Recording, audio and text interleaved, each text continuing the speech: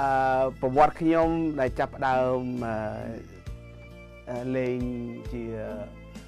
ក្នុងតន្ត្រីឬមួយចាប់អបកណាមួយគឺឆ្នាំ81ហើយ đây បានខ្ញុំដាក់ចំណងជើងឬដាក់ឈ្មោះ album ខ្ញុំឆ្នាំ81ពីព្រោះនៅក្នុងឆ្នាំ81នេះខ្ញុំបានភៀសខ្លួនក្រុមគ្រួសារខ្ញុំបានភៀសខ្លួនមកដល់សហរដ្ឋឆ្នាំ81 នៅពេលដែលខ្ញុំបានមកដល់សហរដ្ឋនៅក្នុងឆ្នាំ1981ហ្នឹងខ្ញុំមានម្ដាយមីងនៅស្រុកបារាំងគាត់បានផ្ញើកាសែតអឺមកឲ្យពួកក្រុមគ្រួសារខ្ញុំនៅឆ្នាំ81ជាកាដូអនុស្សាវរីយ៍ណាបើសិនអស់លោកលោកស្រីបានអឺចាប់អារម្មណ៍នៅលើកាសែតដែលខ្ញុំនឹងបន្តិចបន្តិចទៀតដែលខ្ញុំនឹងបង្ហាញ ហើយជាអស់លោកលោកស្គាល់ហើយបាទអឺឥឡូវនេះកាសែតនេះវាសល់វាសល់តែសម្បកតែប៉ុណ្្នេះទេបាទតើអស់លោកលោកស្រីធ្លាប់មានកាសែតនេះទេក៏ឆ្នាំ81បាទកាសែតនេះគឺជាកាសែតនៅផលិតនៅប្រទេសបារាំងដោយអឺលោកសេរីវុឌ្ឍបាទ បើសិនអស់លោកស្រីស្គាល់លោកសេរីវុឌ្ឍគាត់ជាហៅថាម្ចាស់សេរីវុឌ្ឍបាទឥឡូវហ្នឹងគាត់ជារស់រស់នៅសប្តាហ៍នៅប្រទេសកម្ពុជាយើង បាទដូច្នោះហើយនេះជាកាសែតទី1ដែលខ្ញុំបានចាប់ផ្ដើមស្ដាប់នៅចម្រៀងដែលបានមកដល់ស្រុកអាមេរិកមុនដំបូងគឺកាសែតម្ចាស់សេរីវុឌ្ឍនេះហើយគេហៅថាបតអានីបតកំឡោះអបសុក អីនៅក្នុងក្នុងកាសែតនេះដូច្នោះកាសែតនេះដែលខ្ញុំបានទទួលពីម្ដាយមីងខ្ញុំដែលគាត់បានផ្ញើជាកាដូពីប្រទេសបារាំងមកគឺឆ្នាំ81ដូច្នោះឆ្នាំ81អឺមកដល់ឥឡូវហ្នឹងវា2021វា40ឆ្នាំកន្លងមកផុតហើយណាដូច្នោះខ្ញុំក៏នឹកឃើញដាក់ចំណងជើង album ថៃរបស់ខ្ញុំឆ្នាំ81 so there's your uh, uh, explanation why I name uh, album ខ្ញុំឆ្នាំ81 okay so បើសិនអរលោកស្រីធ្លាប់ឆ្លងកាត់ច្រៀងនៅក្នុងកាសែតនេះដឹងថាកាសែតនេះគឺបានផលិតរៀបចំល្អមែនតើបាទខ្ញុំពេញចិត្តអឺដូច្នោះទេក៏ខ្ញុំ81បាទឥឡូវខ្ញុំសូម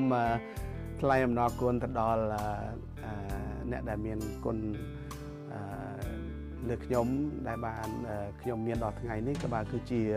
ក្រុមគ្រួសារក្រុមគ្រួសារខ្ញុំបាទពុកម្ដាយខ្ញុំបងប្អូនខ្ញុំដែលបានមិនដែលមានការឧទាហរណ៍បាត់បង់នៅការស្រឡាញ់តន្ត្រីរបស់ខ្ញុំទេដូច្នោះបាទខ្ញុំសូមអរគុណទៅដល់ខាងក្រុមគ្រួសារខ្ញុំបន្តមកទៀតខ្ញុំក៏មានមិត្តភ័ក្តិរៀមច្បងគ្រូគ្រូខ្លះដែលខ្ញុំធ្លាប់ប្រគំជាមួយ ហើយលេងរៀនពីគាត់យក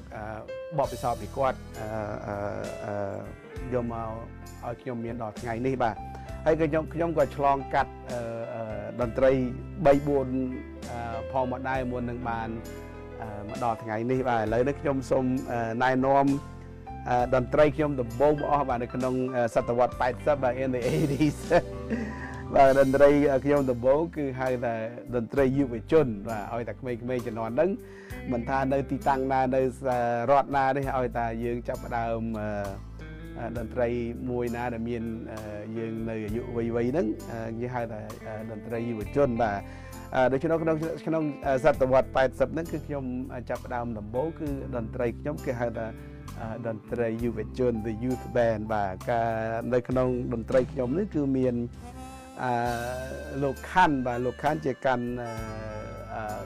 lead guitar បាទខ្មែរយើងហៅថា guitar solo អឺបន្ទាប់មកខ្ញុំគាត់ជាអ្នកកាន់ហ្គីតាហៅហ្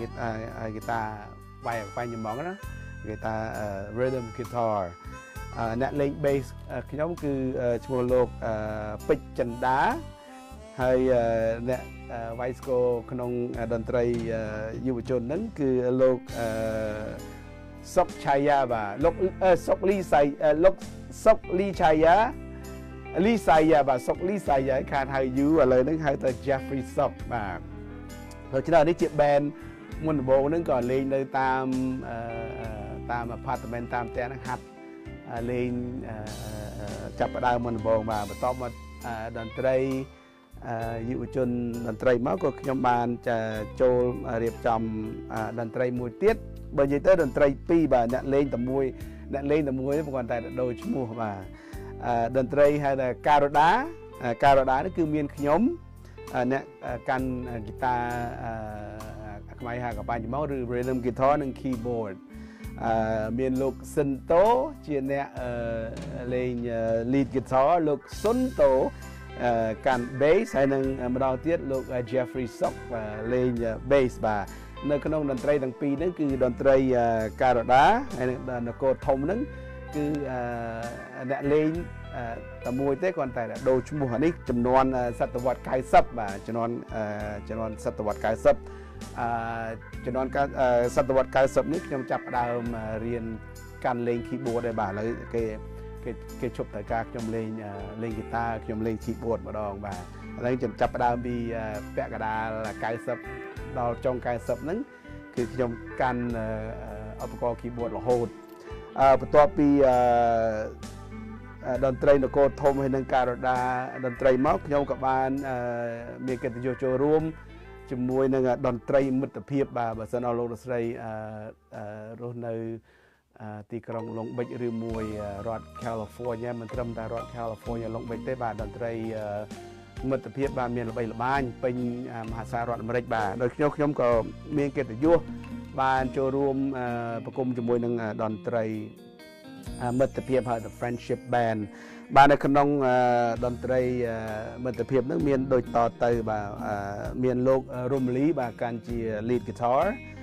អឺលោកគង់សមេធាបាទគាត់ជាអ្នកច្រៀងផងហើយនឹងគាត់នឹងកាន់ rhythm guitar បាទគាត់ជាម្ចាស់បទសិលកាអសាំងបាទលោកលោកគង់សមេធាបន្តមកទៀតមានលោកពៅវុធឹងគាត់កាន់ bass មានលោកបងផុងគាត់កាន់ស្គរហើយខ្ញុំចាប់ពីតន្ត្រីមិត្តភាពមកគឺខ្ញុំកាន់ឧបករណ៍ keyboard រហូតមកដល់ឥឡូវនេះបាទ អត់ដែលមានឱកាសលេងជាហ្គីតានៅក្នុង band ណាមួយទេចេញពី band មួយទៅ band មួយគេតែងតែឲ្យលេងតែ keyboard ហ្នឹងបាទព្រោះអ្នកហ្គីតាគេមានពេញដៃពេញជើងរបស់គេហើយគេខ្វះតែ keyboard ទេបាទបើនិយាយពីរឿងអ្នក keyboard បាទមួយចំនួនខ្ញុំ80ដល់90ហ្នឹងបាក់រកអ្នកលេង keyboard វេទនាមែនតើមិនដូចឥឡូវទេបាទអ្នក keyboard ដោះដូចផ្សិតហ្នឹងបាទបាទចំនួនខ្ញុំហ្នឹងគឺសម្បូរអ្នកលេងហ្គីតាអ្នកលេង bass អ្នកលេងអឺ score ប៉ុន្តែរឿងអ្នក keyboard ចំនួន80 90ហ្នឹងពិបាករកអ្នកលេង keyboard មែនតើដូច្នោះពេលខ្ញុំចាប់ផ្ដើមចូលរួមប្រគំតន្ត្រីជាមួយតន្ត្រីមិត្តភាពខ្ញុំចាប់ផ្ដើមកាន់ឧបករណ៍ keyboard full time ហើយបន្ទាប់អានឹងឆ្នាំ90រហូតមកដល់ដើមឆ្នាំ2000ហ្នឹងខ្ញុំបានប្រគំជាមួយតន្ត្រីមិត្តភាពបាទចាប់ពីដើមឆ្នាំ2000 ផុតមកដែលខ្ញុំបានចូលរួមជាមួយនឹងតន្ត្រីមួយទៀតអស់លោកស្រីក៏ស្គាល់ដែរបាទតន្ត្រីអមរាបាទតន្ត្រីអមរានេះគឺថាក៏ល្បីល្បាញដូចដូចដូចគ្នាអញ្ចឹងបាទហើយក៏ជាមានអ្នកលេងសិតតែគ្រូគ្រូរៀមច្បងខ្ញុំដែលខ្ញុំបានតែងតែលួចមើលតែងតែស្ដាប់ នៅការស្នាដៃរបស់គាត់បានផលិតជាចម្រៀងឬតែងនិពន្ធបទចម្រៀងមួយមួយគឺថាខ្ញុំក្រុមប្រកបគាត់ខ្លាំងណាស់ដូច្នេះនៅក្នុងតន្ត្រីអមរានេះគឺខ្ញុំបានចាប់ផ្ដើមប្រគំជាមួយតន្ត្រីអមរាក្នុងដើមឆ្នាំ2000ហ្នឹងរហូតមកដល់2003ហ្នឹងគឺខ្ញុំលេងជាមួយតន្ត្រីអមរាហ្នឹងបាទនៅក្នុងពេលដែលខ្ញុំបានប្រគំជាមួយនឹងតន្ត្រីអមរា គឺយើងមានតន្ត្រីកដូចតទៅបាទឬយើងមានលោករៀមច្បងនុនប៊ុនណាត ដែលគាត់បានចែកឋានទៅថ្មីថ្មីនេះចិត្តមួយឆ្នាំទៅហើយបាទលោកប៊ុនណាតនេះហើយដែលជាខ្មែរឥឡូវនេះគេគេចូលចិត្តប្រើពាក្យ idol ណាខ្ញុំឥឡូវគេសូមប្រើពាក្យនេះដូចគេដែរបាទ idol លោកប៊ុនណាតនេះហើយដែលជាអ្នកធ្វើឲ្យខ្ញុំមានថ្ងៃនេះធ្វើឲ្យខ្ញុំចង់ លេងភ្លេងធ្វើឲ្យខ្ញុំចង់លេងហ្គីតាគឺលោកប៊ុនណាតនុនប៊ុនណានេះហើយដែលធ្វើឲ្យខ្ញុំមានមានអារម្មណ៍ចង់លេងភ្លេងមិនត្រឹមតែលេងហ្គីតាលេងជាបង្គំជាបង្គំជាភ្លេងបាទហើយលោកបានចែកឋានឆ្នាំទៅមិញទៅហើយបាទសូមលោកទៅបានសុខសប្បាយតាមផ្លូវអឺគឺថាឲ្យតែអាល់ប៊ុម ឬបទមួយណាដែលលោកននមណាត់បាននិពន្ធគឺថាខ្ញុំស្ដាប់រហូតស្ដាប់រៀនសូឡូតាមគាត់មិនមិនមិនសូឡូបានដោយគាត់ក៏ត្រូវតែស្ដាប់ណាក៏ត្រូវតែស្ដាប់ក៏ត្រូវតែរៀនរហូតដល់ខ្ញុំមានឱកាសមកលេងជាមួយនឹងគាត់គឺថាខ្ញុំសប្បាយគឺគឺជាបានមកប្រគំជាមួយគាត់នេះគឺជា my dream ណាមិននឹកថាថ្ងៃមួយយើងមើលឃើញ idol យើងកំពុងតែលេងយើងមិននឹកស្មានថាថ្ងៃមួយយើងបានលេងជាមួយគាត់ដល់ក្រោយមកខ្ញុំមានឱកាសលេងជាមួយគាត់គឺខ្ញុំគ្មានថ្ងៃបំការភ្លេចឬបំភ្លេចនៅក្នុងពេលឱកាសដែលខ្ញុំបានមកប្រគំជាមួយនឹងអមរាតន្ត្រីបាទដូច្នោះលោកលោកប៊ុនណាតនេះណនប៊ុនណាតនេះហើយជា ជា idol របស់ខ្ញុំពិតប្រកបបាទជាមានតែមួយដែរបាទអើបាទនៅក្នុងតន្ត្រីអមរានេះគឺមានតន្ត្រីក៏ដូចតទៅដូចជាខ្ញុំបាទចាប់ផ្ដើមពីនឹងទៅចាប់ផ្ដើមពីតន្ត្រីមិត្តភាពរហូតមកក្រោយក្រោយមកដល់ឥឡូវនេះគឺខ្ញុំកាន់ឧបករណ៍ keyboard រហូតអត់ដែលមានឱកាសកាន់ហ្គីតានៅក្នុង band ណាមួយទេបាទគេទៅណាមួយណាគេត្រូវការតែឲ្យខ្ញុំលេងតែ keyboard បាទដូច្នោះឥឡូវហ្នឹងគឺនៅក្នុងក្នុងអមរាហ្នឹងមានតន្ត្រីករដូចដូចតទៅបាទលោកនុនម៉ាណាតបាទជា lead guitar លោក Thavrit Sowat ក៏ lead guitar នៅក្នុងតន្ត្រីអមរាផងដែរអ្នក vice score គឺលោកពូចៅបាទលោកពូចៅក៏ជើងចាស់រៀមច្បងមួយដែរបានចែកឋានឆ្នាំតមិញដូចគ្នាដែរបាទលោកលោកពូចៅគាត់ជាកាន់ឧបករណ៍ score ហើយនឹងលោកគ្រូសឿនកឹមលោកគ្រូសឿនកឹមគាត់កាន់ឧបករណ៍ហ្គីតា bass បាទដូច្នោះហើយនេះជាប្រវត្តិខ្ញុំខ្លះខ្លះសង្ខេបសង្ខេបខ្លះខ្លះដែលខ្ញុំឆ្លងកាត់តាំងពីពាក់កណ្ដាលឆ្នាំសតវត្ស80រហូតមកដល់ឥឡូវហ្នឹងគឺខ្ញុំឆ្លងកាត់តន្ត្រីទាំងអស់ហ្នឹងហើយក៏ខ្ញុំខ្ញុំបានឆ្លងកាត់រៀនបកពិសោធន៍ប្រពីអ្នកទាំងអស់នោះផងដែរបាទដូច្នោះ អឺបើមិនមានមិនមានអ្នកទាំងអស់នោះក៏ខ្ញុំអត់មានថ្ងៃនេះផងដែរអូខេ anyways that's an ឥឡូវហ្នឹងប្រវត្តិខ្ញុំបានដឹងលឺខ្លះខ្លះហើយហើយបន្តមកទៀតឥឡូវហ្នឹងខ្ញុំរៀបចំមិនរៀបចំខ្ញុំប្រគំតន្ត្រីនៅមរៀងកសាល DH ឬហៅថា Dragon House បាទនៅទីក្រុង Long Beach រដ្ឋ California បើសិនអស់លោកស្រីបាទបានអញ្ជើញមកលេង ទីក្រុងឡុងប៊ិចបាទឲ្យតែមកចំ weekend សុក្រសៅរ៍អាទិត្យបាទសូមកុំភ្លេចចូលទៅលេងរាំងកាសា DH បាទខ្ញុំនឹងប្រគំតន្ត្រីនៅកន្លែងរាំងកាសា DH ជាងរៀងរាល់សប្តាហ៍ថ្ងៃសុក្រថ្ងៃសៅរ៍និងថ្ងៃអាទិត្យបាទ Okay so